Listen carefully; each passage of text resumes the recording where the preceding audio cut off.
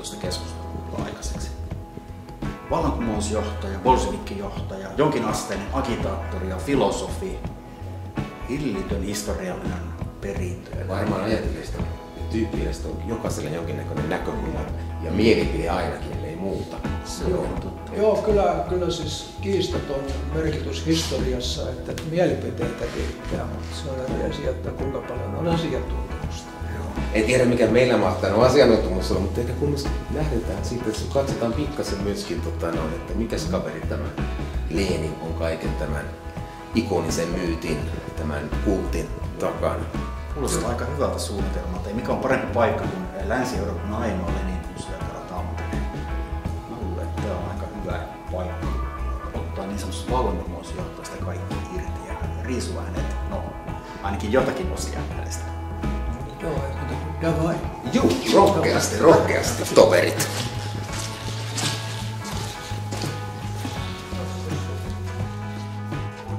Tässä on, tässä on, tässä on, tässä on tämä hetki, hetki, jossa puolitoista metrisestä Uljanovista tulee kaksi ja puoli metrinen Lenin, joka julistaa, että vallankumous, joka välttämättömyydestä bolshevikit ovat aina puhuneet, on toteutunut. Tässä on, tässä on, niin tämä on 30 vuotta vallankumouksesta, jossa tämä Joo. kultin ja myötin muodostus on niin huipussaan, jossa, jossa tota, tästähän päästään niin kuin kiinni Mm. tähän, Joo. tähän tota, muodonmuutokseen. Ja, ja, Tämä on Pietarista ja Smolnasta, näinhän se on. joo, Ja aika ikoninen kuva kyllä siinä mielessä. Mä oon teidän kanssa tästä aikaisemminkin keskustellut, mutta tosiaan kun puhuttiin tästä kuvasta silloin ja, ja kaikkea, miten se tuli esille. Eli tosiaan tuo on hyvä, mitä Tapani puhuu tuosta kaksi ja puoli metrisestä Leninistä. Hän on suurin, hän on vallankumousjohtaja, tässä hän julistaa vallankumouksen alkaneeksi. Hänen takanaan on sitten hänen oikeastaan, voisiko sanoa seuraajansa Stalin, joka kuvataan kyllä hyvin pienenä, pienenä hahmona vielä tässä. Kuva 40-luvun lopulta ja oikeastaan vielä semmoiselta ajalta, jolloin tuota, niin, niin, niin, tämä museo on perustettu ja tämä on todennäköisesti saatu tämä taukin tänne paikalle. Niin mielenkiintoista. joo sitten siellä on, sit siellä on tota, tämä varsinainen Neuvostoliiton yritys, Rautanen Felix Dzerzhinsky, Tsekan päällikkö siellä Joo. taustalla. Ja, ja, ja tota, sitten sit tässä on näitä muita myyttisiä aineksia, vallankumouksen tehneitä matruuseja, työläisiä ja näin edelleen. Ja on mielenkiintoista, että millä, miltä vuodelta tämä kuva on, niin sen mukaan siitä on se Mm.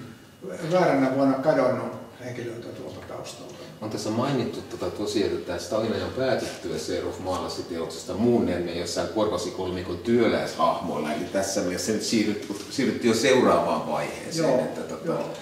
Joo, mutta, mutta tämä on, tämä on olennainen juuri, juuri siinä mielessä, että siinä näkyy tämä systeemi, mikä sieltä lähti pyörimään. Mm.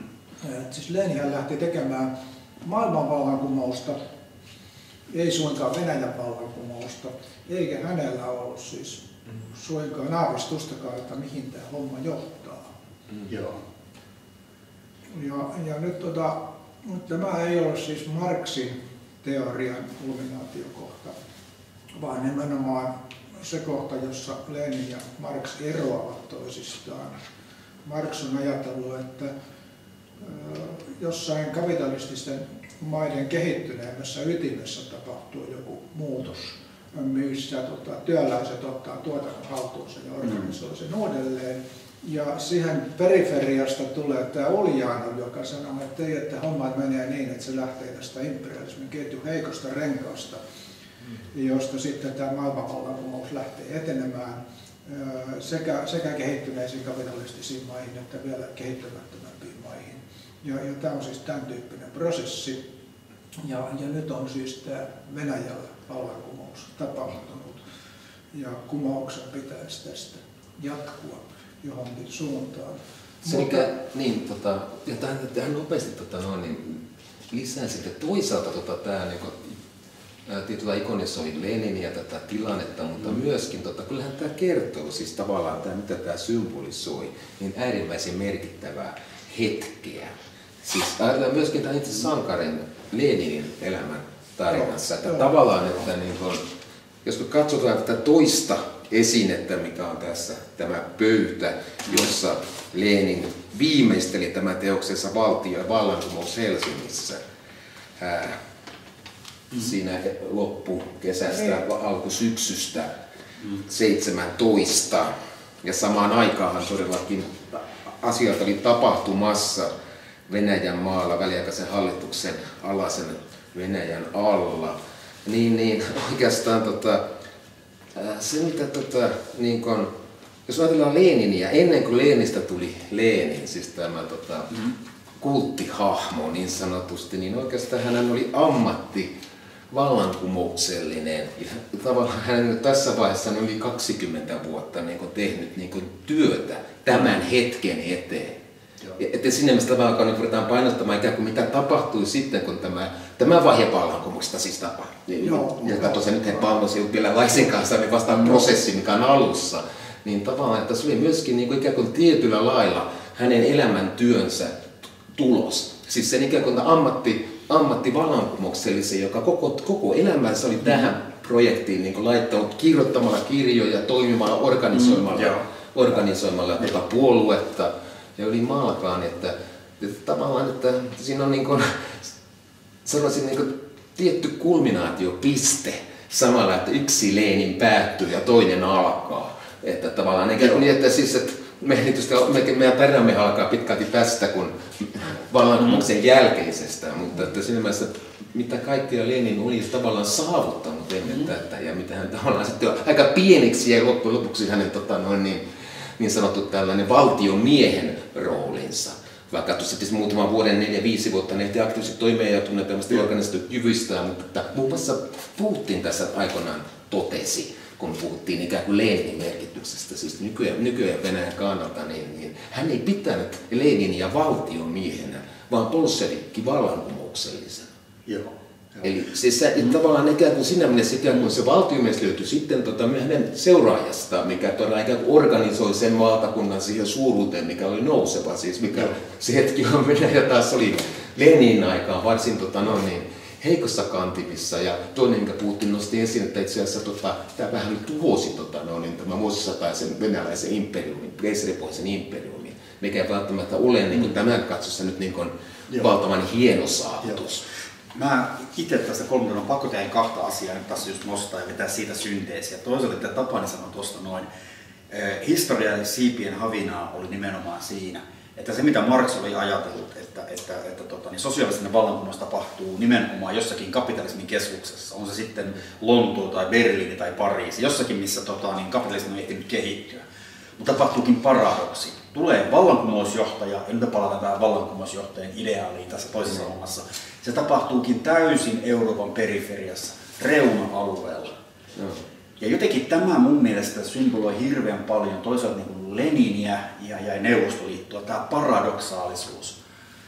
Sosialistinen liike oli muutaman vuosikymmenen vanha, siellä oli ehditty jo teorioita, niin kuin, tuota, niin, sanopas nyt, tuota, niin kehitellä. Marx oli lähtenyt liikkeelle tämän tyyppisestä niin kuin väistämättömästä asiasta, kapitalismi tulee kaatumaan.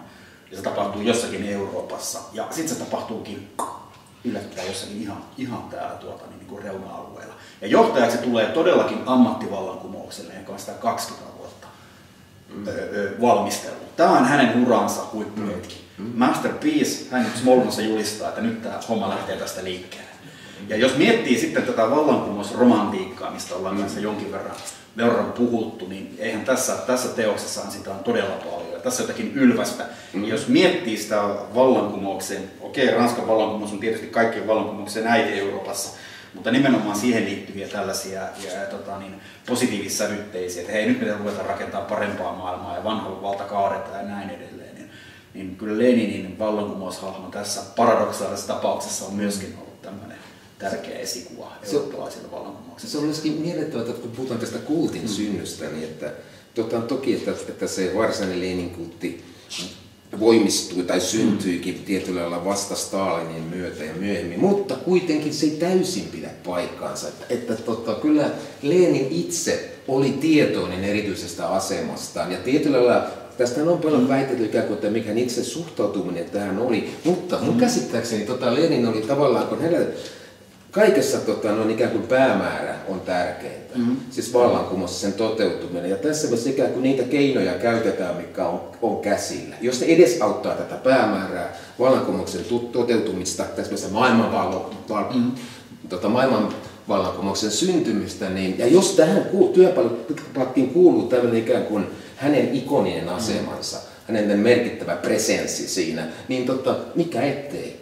Ja tätä kyllä jo hänen elin aikanaan hän oli tietoinen tästä, että muun muassa juuri tämä maailmanvallankumouksen kannalta, niin juuri tätä, tätä vallankumouksia Leninin roolia, sitä ruvettiin jo saman tien korostamaan, eikä nyt on kyse sitä yhdestä yksilöstä, joka mm. niin tämä on toteuttanut. Että, niin kuin, että se niin kuin, ajatus siitä, että koko tämmöinen tällainen tota, Lenin kulttuuri syntynyt hänen kuolemansa jälkeen, ei pidä paikkansa se on yksi myytti. Että kyllä se oli tota, noin yhtä lailla, jo oltiin tietoisia tästä, että tota, hän itse oli tietoinen tästä Joo. omasta.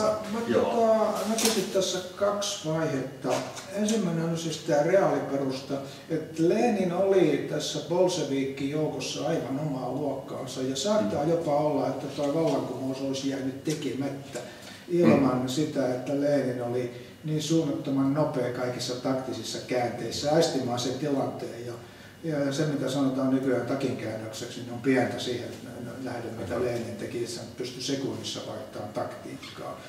Bolshevikit ei siihen kyennyt, vaan hän kykeni siis siinä tilanteessa, mikä Venäjällä täysin yllättäen syntyy, niin tekemään jotain historiallisesti täysin ainutkertaista. Trotskihan on totellut näin, että ellei tota, hän ja Lenin olisi tulleet Venäjälle silloin tietenkin mm. vallankumousta olisi syntynyt, mutta jos hän olisi tullut yksin, niin ei olisi syntynyt myöskään. Joo. Eli korostaen sitä Leninin Ratski, todella aktiivista Ratski roolia. oli tässä ihan, ihan oikeassa ja, ja siis tämä Leninin valtioiden vallankumous päättyy virkkeeseen, että kirjan toinen osa, joka olisi omistettu vuosia 1905-1917 Venäjän vallankumousten kokemukselle, on ehkä lykättävä pitkäksi ajaksi. Mieluisempaa ja hyödyllisempää on olla tekemässä vallankumouksen kokemusta kuin kirjoittaa siitä. Mutta, mutta, se hän todellakin kirjoitti joo, tässä tämän pöydän mutta, äärellä mutta, ne Mutta, mutta nyt, nyt mä vetäisin tähän tota, jutun, että menikö Lenin omaan vipuunsa että siis tämä, niin. tämä kapitalismin, imperialismin ketju heikko rengas, josta vallankumouksen piti lähteä, olikin vallankumouksen heikko rengas. Että se maailmanvallankumous ei suinkaan lähtenyt etenemään. Se eteni vain tietyssä heikossa renkaassa, mutta sillä periaatteella se ei mennyt läpi maailman. Sen sijaan Venäjällä hän jäi omalaatuiseen vipuun. 1905 tammikuun veritorstaista, jossa siis tsaari käski ampua rauhallisia ihmisiä. Lenin teki siitä päätelmän, että oli ikuisesti tuhottu usko tsaariin.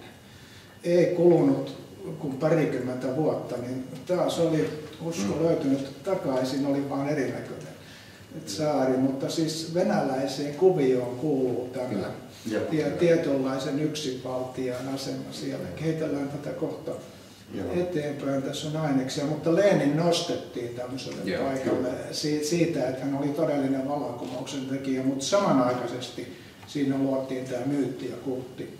Ja niitä ei enää jatkossa saanut irti toisistaan. Aivan. Nyt ollaan tultu semmoiseen huoneeseen itse asiassa, mikä aina muistuttaa minua Lenin museossa käydessä niin neuvostoliittolaisesta paradoksaalisuudesta siitä, miten vallankumous tietyllä tavalla myös syö omat lapsensa tai, tai jotkin ihanteet kokevat jonkinasteisen haaksirikon. Ja tämä onkin se mielenkiintoinen vaihe tässä Lenin äh, kultissa ja johtajakultissa Lenin niin, äh, vaiheessa sitten sen jälkeen, kun aika hänestä jättää. Ja eräs generalissimus Stalin tulee sitten hänen seuraajakseen. Täältä löytyy kulakkia, täältä löytyy Tsekan uniformua, täältä löytyy äh, henkilöpalvontaan liittyviä Stalin patsaita jotakin todella merkityksellistä ja paruuttamatonta tapahtuu Leninin kuoleman jälkeen 1924.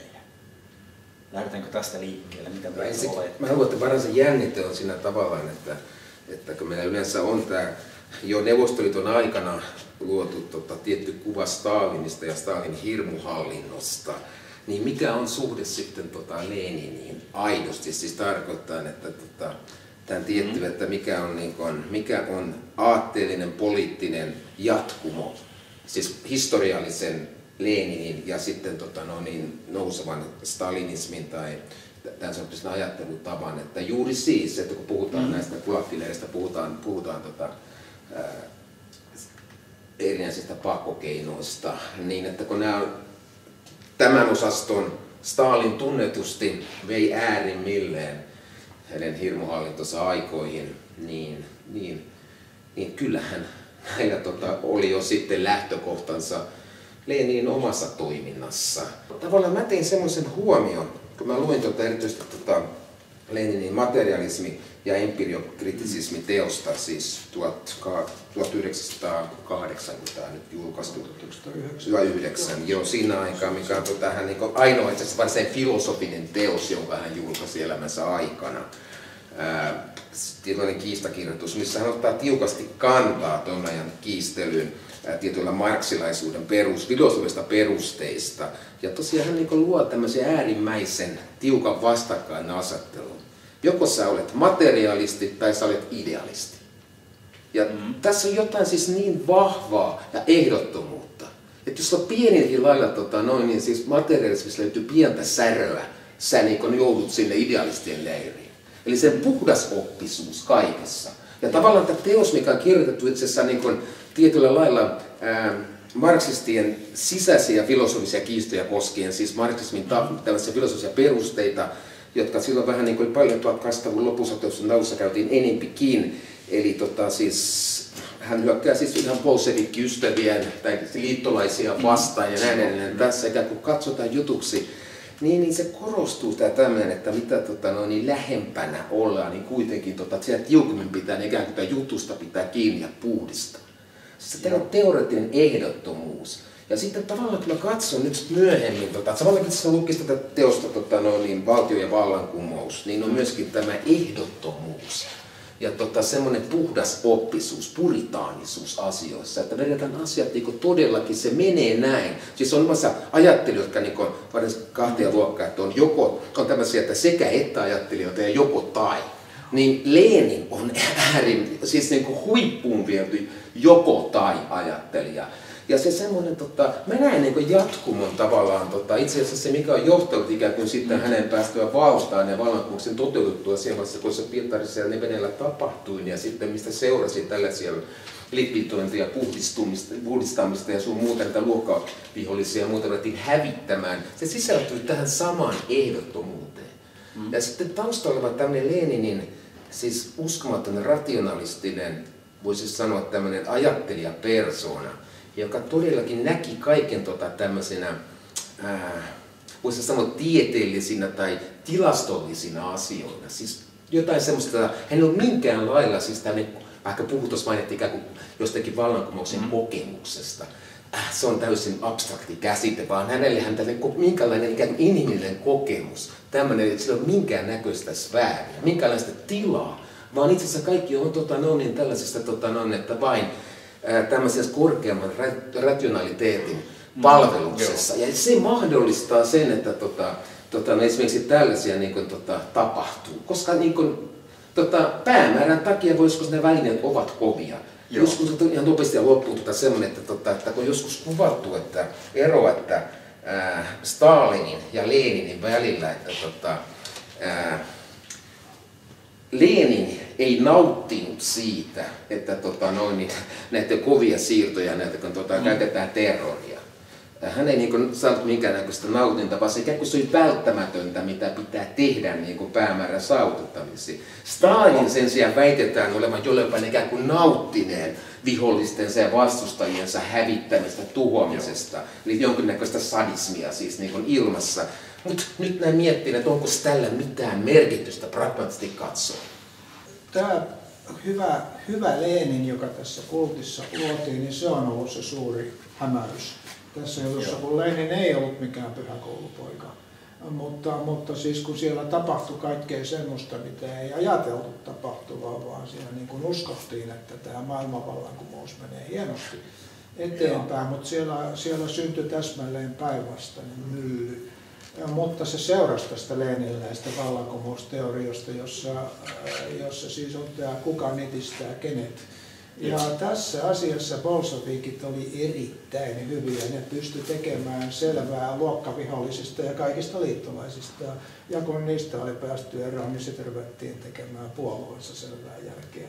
Joo. Että siis siellä käynnistyi hirvittävä mylly. Ja, ja, ja tota, nyt Stalin ei ole tässä mikään poikkeustapaus muuten kuin, että hän on poikkeuksellisen selkeä tapaus. Joo. Mm.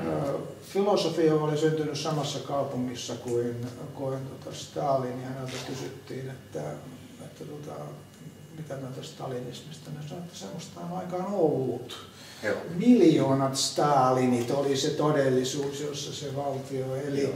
Stalin oli näiden polttopiste se oli, se oli siis se todellisuus, jota nämä miljoonat Stalinit eli. Ja tämä puolue tuotti Stalinin omaksi kuvakseen. Siksi hänestä tuli se, mikä hänestä tuli. Ja ei siis Stalin yksistään tappanut ketään, vaan siis se järjestelmä alkoi pyöriä ja koko hommasta tuli eri, eräänlainen näytelmä, jossa Joo. se Lenin oli semmoisena kulissina siellä Joo. taustalla ja tämä homma, homma sitten pyöri. Ja nyt filosofiaa ajatellen toi materialismi ja empiricismi on kirja, johon Lenin ei itsekään halunnut myöhemmin viitata. Mutta sen takia hän ei jää filosofiahistoriaan. Filosofiahistoria häneltä jää aivan toinen seikka. Nimittäin vuonna 1921 lähettää Rautaselle Felixille, eli Tsekan päällikölle kirjeen, että valmisteltava huolellisesti vastavallankumousta tukevien filosofien ja kirjailijoiden karkottaminen maasta. toukokuussa 22 Luutnantti Smithin silloin pielestä Pietarista lähtee laiva, joka kuljettaa filosofit maasta pois. Historiallisesti ajatellen tietysti hyvin humaani teko, että Joo. filosofit saivat elossa lähteä siitä maasta neuvostovaltion kustannuksella. Mutta tämä on siis verrattavissa Platonin akademian sulkemiseen Kreikassa aikanaan, kun kristityt pisti filosofian Joo. instituutin kiinni 529. Tässä tehtiin siis samanlainen operaatio. Maa tyhjennettiin vanhan Joo. tyylin intellektuelleista. Sinne muodostui filosofinen tyhjiö, johon sitten alettiin kehittää kaiken, kaiken näköistä oppia, josta sanoisin, että Marx olisi kauhistunut sitä ainakin, ja todennäköisesti myös Lenin, koska siitä, siitä tuli niin kauheata, että, että tota, ja Leninillä on erikseen ennen vallankumousta yrityksiä perehtyä filosofiaan syvemmin, ja, mutta, mutta kun se järjestelmä lähti pyörimään, niin se alkoi toimia omalla logiikalla. Ja, mutta musta semmoisen noston tota esiin, että, tota, että vaikka tosiaan Lenni ei välttämättä, vaikka tietää mikä suhtansa filosofiaan oli, että vaatiiko tota, no, niin poliittinen liike ää, siis vahvan filosofisen perustuksen. Ilmeisesti kaivat, tarvii, mutta en tiedä oliko tämä vielä semmoinen teos. Hän myöhemmin rupesi tota, mm. tota, käymään Hegeliä lukemaan tarkemmin ja kehittämään dialektiikkansa siinä 10-luvulla. Tota, noin, niin. Mutta tota, joka tapauksessa niin se mikä on jännää on tässä tavallaan, että että verrattuna vaikka siis kolmannen valtakunnan tapahtumiin, niin tota, tämä Leninin ajattelu, vaikka hän totesi tota, tota noin niin, ennen tämän teoksen kirjoittamistaan, tota, kysymys oli nimenomaan tämmöisestä empiriokritisestä, mikä sen aika oli vallalla, mikä on tietyllä lailla kyseenalaisesti marksilaisuun liittyvää tota, materialismia, niin, niin tota, hän totesi, että, tota, että tota, toki että se on mitä viimeistä filosofiassa ajatellaan, kun se on yksityisasia tarkoittaa, että jos ollaan saman poliittisen liikkeen tota, no, niin parissa, niin okei, se ei ole niin, niin tärkeää. Mutta ilmeisesti myöhemmin tota, tämä sitten muutti kantaansa. Mutta joka tapauksessa niin se, mikä tuli tapahtumaan, oli se, että verrattuna kolmanteen valtakuntaan, niin Hitlerillähän tämä kanta oli itse asiassa juuri filosofian suhteen, niin jäi tuommoiseksi, että okei, ei filosofilla ole merkitystä. Teoretikkoikaan sitten siellä niin kun, tota, tänne fasistinen järjestelmä, natsi ei tarvinnut filosofista perustusta semmoista niin ei luotu. Tota, itse asiassa tarkoitus tätä Hitlerin jätti. Hän ei tarvinnut tota, no, niin, tota, tietysti rodullisia ja muita kysymyksiä, mikä filosofit eivät täyttäneet, ja looginen positiivismi oli yksi tällainen poikkeus, mistä hän ei henkilöisesti pitänyt, mutta, mutta tota, noin, niin, se ikään kuin jätti tämmöisen, ikään kuin jatkaako filosofit sitten työstämistään siellä, Joo. mitä ovat työstäneet, mutta näin ei käynyt sitten tuollaisessa neuvostojen valtiossa, missä ikään kuin löytyi tämä, löytyi tämä tämmöinen ikään kuin valtion filosofia, mikä perustuu sitten tähän dialektiseen materialismiin ja leninismiin ja niin edelleen. Joo, mun on pakko tähän vetää semmoinen tähän väliin juuri. Siis me ollaan niin mielenkiintoisessa huoneessa ja mä kuuntelin teitä ja, ja teidän juttuja. Eli ensinnäkin tuo determinismi, mikä oli Leninillä. Eli siis se, että tota, viedään tämmöinen, voisiko sanoa, sanopas rationaalisella pohjalla loppuun asti tämmöinen tietyn asteinen tota, niin ehdottomuus asioissa, joka mahdollistaa sen, että mädät munat voidaan rikkoa. Ja, ja tämä alkaa jo Leninistä. Ja Stalin on jo valmiina ikään kuin siinä apparaatissa, ikään kuin, niin kuin valmiina.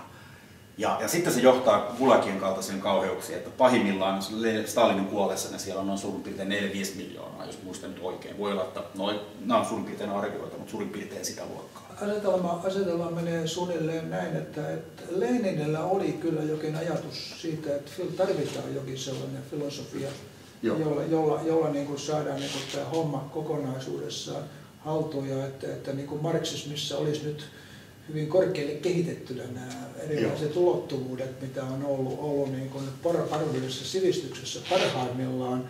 Mutta sitten on nämä nahkatakkiset komissaarit, jotka eivät tarvinneet tällaista filosofiaa. Mm ja, ja siinä, siinä, siinä on siis tämä kahtia jakautuneisuus on, on niin hirveä. Joo. Ja kyllä siellä oli jo kaikki joutuneet toteamaan sen, että sivistys, mitä siinä maassa on, niin ei ole mitenkään kansanomaista, se ei kykene läpäisemään tätä yhteiskuntaa, vaan nämä kaksi jää irralleen. Ja sitten siellä, sit siellä alettiin pyörittää jotain tämmöistä ihmeellistä näennäisfilosofista myllyä, mm. jossa Joo. ei oikeastaan ollut mitään reaalisisältöä. Sitä tosiaan, mitä olin sanomassa tuohon näin loppuun, oli juuri tuo filosofia. Oli sitä käytössä niin kuin vallankumouksen järjestelmässä Neuvostoliitto versus fasismi, Hitlerin Saksa ja näin edelleen. Niin käytäpä minkälaisia argumentteja tahansa tai filosofista perustelua tahansa, niin parhaimmillaan se voi olla loistava työkalu, millä perustella, miksi päädymme tällaisiin ratkaisuihin. Mutta pahimmillaan siitä tulee teloittajan työkalu. Neuvostofilosofiassa tuli kaksi pyhää sanaa, materialismi ja dialektiikka, joilla, joilla niin kuin, tota, oikeastaan niistä on tavattoman vaikea löytää todellista sisältöä, pikemminkin ne määrittyy sen kautta, mitä ne vastustaa. Ja, ja, ja, ja tota, se, se, tota, siinä, siinä, siinä nimenomaan se määrittyy tämän, tämän tota, kaikenlaisten harhaoppien kumoamisen kautta. Mä luulen, että me, tota, noin niin, että me varmaan filosofit on päässeet aika pitkällekin tässä kohtaa keskustelun päästä itse, mutta meidän, meidän pitää, on syytä jatkaa matkaa täällä museossa. Joo, Siinä no, jatka, jatkamme seuraavassa tota, pisteessä. Tota, pidetään, pidetään kenttää avattuna ja, ja katsotaan, katsotaan. No niin, nyt, nyt, ollaan, nyt, ollaan, nyt ollaan siis tässä sanokaamme kypsän Leenin kuultiin aidossa neuvostovaiheessa, jossa tässä on tämä kaksi ja puolimetrinen Leenin taustalla ja, ja siis 20-luvulla runoilijatkin oli jo saatu kirjoittaa näitä Leenin ylistyksiä ja, ja näin, näin edelleen. Ja mielenkiintoinen, että tästä tulee se jatkumo koko Neuvostoliiton mitalta. Aina kun tulee näitä uusia neuvostojohtajia, niin heidän, heidän tota, kautensa alkaa paluulla Leeniniin, on palattava takaisin Leeniniin. Ja, ja aina vaan se Leenin kultti niin nousee siitä ää, suurempaan loistoon, mutta tosiasiassahan se on vain pelkkä kulissi. Ja itse asiassa koko tämä Neuvostoliitto on, niin tästä, tästä tota, georgialainen filosofi sanoo, että, että tota, teatteri olisi nyt se ainutkertainen väline, jolla tämä on jäsennettävissä, koska kaikki esittävät jotain roolia. Kukaan ei niin ole aidosti jotain, rosvokaan ei ole oikeasti rosvo, vaan se vaan esittää sen rosvon roolia. Ja jopa Stalin näytteli Stalinia. Ja, ja, että, ja että siellä oli, kun siellä oli näitä näytösoikeudenkäyntejä, niin ne oli siis ihan oikeasti neuvostotodellisuutta, koska siellä nimenomaan näyteltiin Joo. tämänlaatuinen rooli. Ja, ja sitten Lenin oli se hyvä aina, mikä sieltä niin nousi jatkumana yli ää, kaiken tämän. Mutta, mutta tota, on sitten se rituaalitanssin esittäjä kuka tahansa, niin, niin, niin tota, siihen tarvitaan tämä jatkumo. Mutta se Lenin ei ole missään tapauksessa se reaalisisältö siellä, vaan, mm. vaan siis tota, se on, on tota, aika, aika lailla, aika lailla niin kuin pienen pienen asia sitten, jotka tosissaan toimittaa Leninin teoksia. Sitäkin nimittäin tehtiin. Että, että siis tämä, tämän tyyppinen tuotanto oli, oli oma taiteenlajinsa. Mutta, mutta se, mitä niin kuin tosissaan tapahtui, niin, niin oli aivan jotain muuta. Ja kun Lenin kultti saa väistyä Neuvostoliiton romahdettua, niin ei siinä tapahdu mitään erityisiä tunnereaktioita, vaan se kama kärrätään sieltä romukoppaa hyvinkin nopeasti ja Pietarissa piti erikseen perustaa komissio, jossa määritellään, mitkä näistä Leinin monumenteista on historiallisesti arvokkaita, että ei aivan kaikkia vietäisi pois, Joo. mutta kaikki on siis sisällyksetöntä. Mä mietin, tota, tuo oli hirveän hyvin, mitä sä sanoit tuossa noin, että oikeastaan juuri tuo, mikä liittyy tähän, että Leninin palattiin aina takaisin. Eli tosiaan Stalinin kuoleman jälkeen Lenin on edelleen se vallankumouksen johtaja, hän sai tämän kaiken alkuun, hän on ikään kuin se syy, miksi me olemme täällä. Ja siksi meidän täytyy palata siihen. Ja toisaalta sitten, kuinka ikään kuin sillä perusteltiin sitten joka ikistä seuraavaa niin kuin vallanvaihdossa, kun pääsihteerit vaihtuivat Rutsevista Brezhneviin ja niin edelleen eteenpäin. Aina palattiin takaisin Leniniin. Ja sitten todellakin, jos miettii Lenin-kultin romahdusta, että kun se tapahtuu niin täydellisesti, niin kuin sä sanoitkin tuossa noin, että ne vaan vietiin pois sieltä, että Neuvostoliitto ikään kuin lakkasi olemasta sen jälkeen, kun kaikki yhdessä määrin olivat sitä mieltä, että tätä järjestelmää ei enää kaivata. Ja se oli täydellinen. Neuvostoliitossa, eli nykyisellä Venäjällä ei käyty minkäänlaista sisällissotaa tai mitään muuta tällaista, vaan se vararikko ikään kuin sen järjestelmän, mikä oli ikään kuin tuota, niin tällä Leninin nimellä ää, tuota, niin, ää, pyhitetty. Niin sitä ei enää ollut. Se lakkasi olemasta. Ja se on aika hurjaa, kun miettii, että siinä oli kuitenkin 80 vuotta vallankumousta tai vallankumouksesta, eli oli kuitenkin syntynyt useampikin sukupolvi jo mm-hmm. ihmisiä, jotka ovat eläneet sen neuvostoliiton aikana. Että se vararikko oli niin täydellinen sitten loppupeleissä, jos miettii syksyn 91 tapahtumia. Mä mm. tuota, palaisin tuota ikään kuin tuosta tässä, että tähän Lenin kultin erityisyyteen, että se kumminkin, nyt kun tässä pitää paikkansa, kun se oli koko Neuvostoliiton tarinan taustalla oleva tämmöinen yllä, jolla merkittävä kultti, mikä siellä koko ajan oli, mutta sitten toisaalta tämä mielenkiintoinen Stalin-kultti, mikä nousi siinä aika tavallaan, mm. että syntyi se Lenin, sanotaan, että kun Lenin-kultti ensinnä syntyi, mutta Stalin-kultti tuli siinä mukana ja yhtäkkiä tota, tavallaan, että tässä jopa menee, että Stalin meni ohikin tässä, tota, että se oli niin kuin, tota, se suurempi hahmo oli jonkun aikaa oli se Stalin. Ja taustalla oli tämä suuri vaikuttaja Lenin, mutta sitten kun kävi Stalin niin kun kävi, niin se romahti. Ja, tota, no, ja Lenin jäi. Mutta tässä on mielenkiintoista, jos palataan vaikka siihen vuonna 1956 tähän Rutsevin kuuluisaan salaiseen puheeseen, jossa hän tota, noin, niin, viitaten Marksiin, että tota, korostatte, tota, että tämmöinen yksilökultti ei kuulu tota, no, niin, tähän kommunismiin, tähän, tätä, tähän ohjelmaan. Niin, tota, niin viitaten tällä tot, Staliniin, siis löysi tällä Stalinia, mutta Jollekin, siis tämä ei sitten jostain syystä pitänytkään sitten Leninin suhteen paikkaansa, että se täsmä osuttiin tämä Marksilla perusteltu tota, no niin, näkemys mm. siis Stalinin, mutta tämä yksilökultti jäi kuitenkin voimaan ja itse asiassa voimaan tui tuon jälkeen, tota, mikä koskee juuri Leninin, Leninin asemaa. Ja tietysti hauskan tavalla, että myöskin tämä kultin sisältöhän muuttui matkan varrella, että juuri tota, tämän Stalinin jälkeinen Lenin kultti, niin yhtäkkiä saadaan paljon tässä humaanimpiakin sävyjä. Ruvettiin puhua tästä lempeästä Leninistä ja tämmöistä ikään kuin aika muuttui, ikään kuin se, se hirmuus, että se tietty tota, tavallaan, ehkä tuo niinku suoran tota, oikeudenmukaisuus, se jämeryys, mikä oli sen alun perin kultissa ja Stalinin aikaan voimissaan, ikään kuin, että tämä on tämmöinen, mitä pitää tehdä. Mut sitten, mutta sitten rupeaa tällaisia pehmeämpiä kaveria, tuolla näkyy ja tuolla on tämmöinen oikeakin, tota, siis tämän sortista hahmo, että on yhtäkkiä tämmöinen humaani hahmo tämä Lenin. Mutta, mutta, mutta tässähän on siis tämä Leninin tetehdys, kommunismin voitto on väistämätön. Joo, mutta, ei, se on, mutta, mutta, mutta semmoista turhaa humanismia ja semmoista tuohon aikaan ei kuulunut siihen Stalinin, Stalin ajan kulttiin kähdäkseni niinkään paljon. Se tuli myöhemmin vasta, kun tuota aika, aika kutsui tällaista. Ja, mutta, mutta mm. tässä tulee tästä, piti niin kuin tämän Stalinin jälkeen saada jotain Juh, pehmennystä. Koska, äh, joo. Mutta, mutta, mutta siis... Äh, mutta se tarkoittaa, että se myöskin tavallaan, sehän on joo. myöskin se Lenin, mikä me tavallaan opittu tuntemaan. No, tämä tämmöinen tietyllä lailla ikään kuin se taustalla humaani hahmo. Joo, siis Lenin setä asuu. Lenin setä asuu ja sitten tulee tällainen ikään kuin, että se on ikään kuin loppu, mm. sanotaan jälkeinen konstruktio, tämä hahmo, mikä niin minä opin jo koulussa tota tämän. Joo, että sen ajan, sen ajan Joo. tuote. Joo, varma, varmaan, varmaan, varmaan näin, mutta Russovilla sattui yksi, yksi moka, moka tuossa. Muuten meni, muuten meni juttu oikein, mutta hän ei huomannut tätä Venäjän pitkää jatkumoa, josta siis Piotr Tschaider, venäläinen filosofi jo 1800-luvun alussa,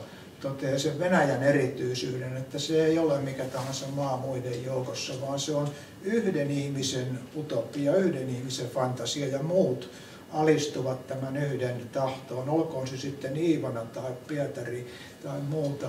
Ja, ja, siis, ja, ja siis se, että, että kaikki olivat pieniä Stalinin, ne kaikki olivat pieniä Leniniitä joltain kannalta, mutta siellä se mylly pyörii juuri eh, sillä tavoin, että, että tota, kaikki toteuttavat tätä järjestelmää näin kollektiivisesti. Ja, ja siellä on se kulttihahmo jokaisessa sisällä niin, että ne noudattavat tätä. Ähm, Ja, ja tota, Brezhnevkin oli jonkunlainen äh, hyvä hahmo jossain vaiheessa, kun hän sai niin kuin, tätä maailmanrauhaa rakennettua, mutta edelleen siellä pyöri se mylly.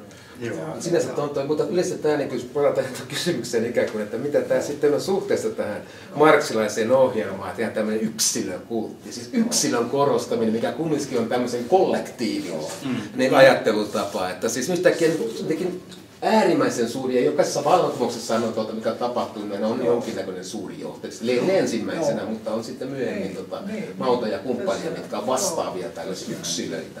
Tässähän se luki Lenin. Joo. Joo. Joo. Joo. Joo, joo, niin tota, tämä on, tää on. Myös tämmöisen paradoksi, mistä tota, no, niin, Joo. sitäkin puhuissa Joo. mainitsit tuossa aikaisemmin, että Joo. tässä löytyy koko Joo. ajan tämä koko itse, Joo. itse Neuvostoliiton ideassa. Joo, Kyllä, joo kyllä. kyllä, Mutta, mutta siis, mutta siis tässä, tässä niin kuin näkyy se, että, että se oli vain niin kuin näennäisesti jotain marksilaista tai, Joo. Mm. tai jotain tällaista. Siellä oli todellisuudessa, pyörii joku muu mylly, mihin tämä ideologia ei saa otetta. Että, Joo. että, mutta, mutta se marksilais-lenininen ajattelu pyrkii olemaan jokin kaiken teoria. Ja, mutta se eikä lopulta saanut otetta mistään, mutta se oli, oli niin kuin siellä taustalla sellainen, sellainen mistä aina, aina, aina saattoi siteerata jotain. Joo. Mutta onko tuossa sitten mieleen tuota vanha sanonta, että hyvä idea, mutta pojat pilasivat. Niin voidaanko tässä ajatella myöskin se, että niin kuin tuolla mainittiin aikaisemmin, että, että siis Marxihan näkynyt sen mukaan viime, viime kädessä joku, joku Venäjän vihomisin paikka, mistä vallankumous voisi lähteä, koska ei ikään kuin kehittymätön, kehittymätön valtakunta ja niin edelleen. Että onko tässä jotain sellaista valuvikasta, siis Lenininkin tässä vallankumous intoudussa oli turhaa hä, hätäilyn makua. Ja jos Joo. nyt ollaan niin jälkiviisaita, että miksi Joo. tämä, sanotaan, sanotaan ne jälkiviisaasti, että tämä eksperimentti nyt ei onnistunut. Niin mä sanon, siis kun Leninillä on materiaalisessa empirykritismissä idealismia vastaan, tämä kelvottoman yhteiskuntajärjestelmän kelvotonta tuotetta, niin olisiko tämä nyt sitten epäonnistuneen yhteiskuntakokeilun epäonnistunut tuote? Tuo on hirveän hyvin sanottu tapa. Niin mä luulen, että meidän täytyy tämä vielä jotenkin, mitä ollaan täällä käyty läpi, niin syntetisoida vielä jotenkin sellainen jonkinasteiseksi kokonaisuudeksi. Miten olette mieltä? Okei, okay, eiköhän- otetaan, otetaan, otetaan, otetaan vielä, vielä yksi yritys. Mä luulen, että me voitaisiin vielä yrittää hakea sieltä joku, ää, joku tota demystifioitu Uljanov sieltä Leninin takaa. Et, et, tota, kyllä hän yritti tosissaan jotain. Joo. No niin, nyt Lenin museokin on tässä kokenut muodonmuutoksen ja toi kaksi ja puoli metrinen Lenin on tässä supistunut aika lailla lähemmäs tota normaalikokoa. Eli mennään siihen puolitoista metriseen Uljanoviin takaisin. Ja, ja tota, kun hän on 1890-luvulla vankilassa, niin hän tekee vankilatyönä äh, tutkielman kapitalismin kehitys Venäjällä, jossa hän käyttää tilastomateriaalia ja muu- muuta näin edelleen, jossa hän pyrkii, pyrkii tota, lähteä Marksista eteenpäin ja lukemaan tätä Venäjän todellisuutta. Ja, ja tota, hän, hänessä on siis tämä tutkiva panos, jossa, jossa hänellä on niin avoimia kysymyksiä ja hän suhtautuu niihin jotenkin toisin kuin julistuksellisesti ja ideologisesti. Ja mielenkiintoinen vaihe olisi sitten tämä vallankumousta edeltävä vaihe. Lenin on Zyrihissä työskentelee paikallisissa kirjastoissa, tekee erilaisia muistiinpanoja. Hän on siis puolitoista metrinen uljaan ollut siellä, ottaa asioista selvää. Ja kun hänellä oli porvarillinen sivistys, hänellä oli valmiudet käyttää sveitsiläistä kirjastoa, lukea saksaksi materiaaleja. Hän, hän tekee siellä muistiinpanovihkoja, joista tulee siis tuota imperialismikirjaa merkittävämpi on ne imperialismivihkot siellä taustalla, jossa hän käy läpi valtavan materiaalin. Se valtio- ja vallankumousta varten hän kokoaa valtavan materiaalin. Sitten mm-hmm. sit täältä löytyy, sit täältä löytyy tämmöinen tämmöinen tota, agraarikysymyksen vihkot. Uljanov on sinnekin, sinnekin tota, 15 vuoden ajan kerännyt materiaalia agraarikysymyksestä eri puolella maailmaa sitten hänellä on filosofian vihkot, jossa hän pyrkii löytämään Marksin ajattelun sisäisen kulun ja ajattelee, että Hegel olisi avain tähän ja että on mentävä siitä vielä taaksepäin ja lukee filosofian historioita. Että hänellä on siis avoimia mm. kysymyksiä. Hän pyrkii saamaan esille jonkun vallankumousajattelun kulun.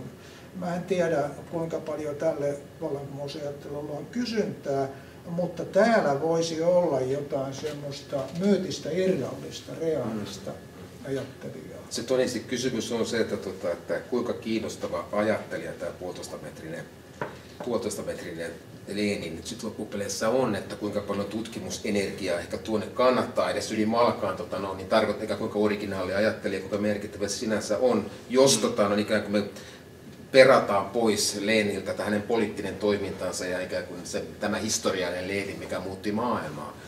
Ja tota, niin, tämä on oma kysymys, mutta mulla niin enemmän suhteessa tähän Leninin on tavallaan se, että, että, niin kuin, että kuinka, voinko me yli maakaan, tota, kuinka me tänä päivänä niin lähestytään tota Leninia ilman, että me ikään kuin me tuo, tiedämme hänestä jo liikaa että siis ikään kuin se historia on hänessään, että niin kuin pitäisi yhdessä kirjassa sanotaan, että he, he, hedelmistään heidät tunnetaan.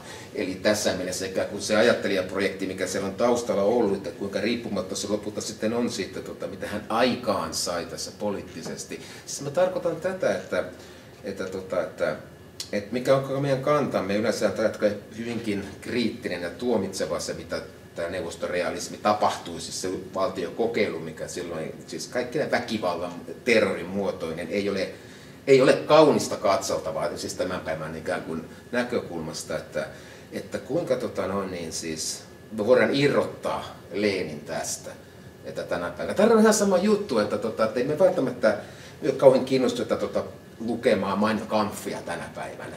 Siis ikään kuin, tota, se on ikään kuin, että se on aika hyvin tota, räikeä esimerkki, mutta kuitenkin relevantti tietyn ajan, tota, tietyn totalitarismin ajan tota, ajattelijoista kysymys, niin tota, että onko, onko Leenillä vähän sama ongelma?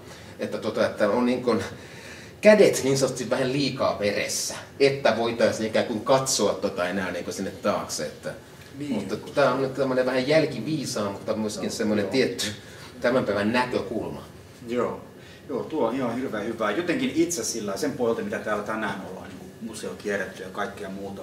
Mullehan näyttäytyy ennen kaikkea nyt tuon pohjalta vallankumousjohtajana. Hän teki sitä työtä, valmisteli sitä vallankumousta sen noin 20 vuotta. Eli sitä tilannetta varten kuoli aika pian sen vallankumouksen jälkeen. Emme nähneet siis myöhempää varttunutta Leniniä.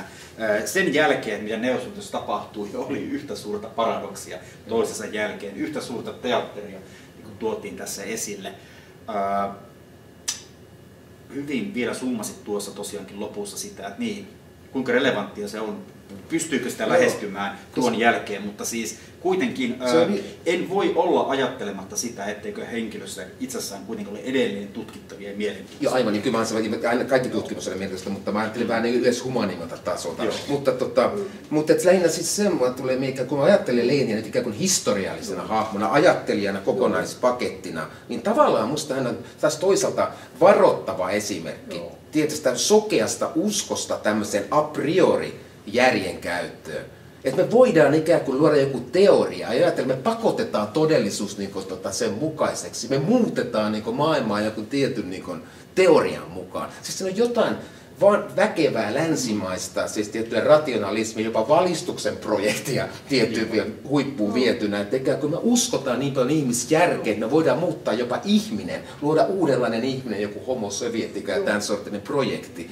Ja tavallaan äärimmäisen vähän mitään semmoista pragmaattisuutta, ikään kuin hyväksytään sekä hetkin, että tässä maailmassa saattaa oikeasti olla semmoisia tekijöitä, mitä se yhtäkkiä ei muutukaan ikään kuin minun tahtoni mukaiseksi, tai usko, niin, usko omiin teorioihin todellisuus, että se on pakko muuttua semmoiseksi, minä sen tahdon. Niin tässä on jotain semmoinen opetus siitä, että kannattaa kyllä uskoa järkeen näin vahvasti kuin mitä tuohon aikaan tota, tietyllä lailla muista koko, koko Marksanen projekti on pitkälti tällainen, varsin Leenissä huipentuma. Joo, joo, mä sanoisin, että, että tota, nimenomaan tämä valistuksen projektin epäonnistuminen just on tietysti, niin tämä, tämä on, tämä on niin huippuesimerkki siitä, mm, mitä, mm, mitä se omat epä, epäonnistuminen on, mutta tota, jos Lenin ei olisi häätänyt filosofia pois, vaan olisi keskustellut heidän kanssaan, niin, niin tota, varmaankin asetelma olisi ollut toisenlainen, mutta, mutta tota, hän ei taatusti nouse suurten filosofien joukkoon, ja hän, hän ei ole näitä 1900-luvun suuria filosofia, jotka tässä neuvostokultissa tehtiin, mutta, mutta siis mahdollisesti tämmöisen inhimillisen kokoisen ajattelijan panosta oli, oli niin, niin tota, henkilöhistoriallista tutkimusta siellä on syytä äh, tehdä, koska sitä kautta voisimme äh, saada vielä näkyviin jotain tästä 1900-luvun sisäisestä kulusta. Ja tämä olisi se kiinnostava asetelma. Tästä meidän täytyy jatkaa jossain vaiheessa vielä. Haluatko ottaa tässä kohtaa takin pois, että no niin, tämä on palvelu? Punainen, punainen takki kyllä, pois ja pelkkä musta näkyy. Kyllä. Mutta kiitoksia. Tämä oli. Kiitoksia. Hei, tota, noin, hieno, hieno keskustelu.